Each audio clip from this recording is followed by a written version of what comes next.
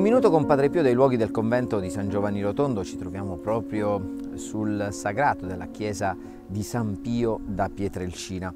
Oggi ci troviamo qui perché vogliamo leggervi uno stralcio di una lettera che Padre Pio scrisse nel 1918, quindi da San Giovanni Rotondo, dalla sua cella, eh, la numero 5. Eh, scrisse questa lettera a Padre Agostino il 25 marzo.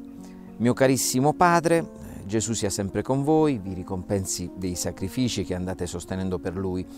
Eh, padre Pio scrive, quanto è buono il Signore con tutti, caro Padre, ma quanto ancora lo è con voi sempre ed in un modo molto più speciale.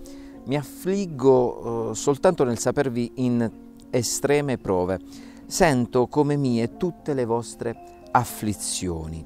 Il sapervi spesso così agitato mi commuove a dire al Signore che eh, mandi alla sventura di desistere alquanto dal feroce assedio o che eh, in voi raddoppi sempre più la forza di resistere con suave rassegnazione alla sua santissima volontà. Lo vado sempre più importunando affinché scarichi su di me le prove che sono riservate per voi e che a voi stesso ne riservi la corona e il premio dovuto a queste prove. Ma mentre così lo prego e mi addoloro, sento anche una spirituale gioia per il grande amore che Dio vi porta e segno certo di questo amore la tempesta che rugge sul vostro capo e vi sconvolge.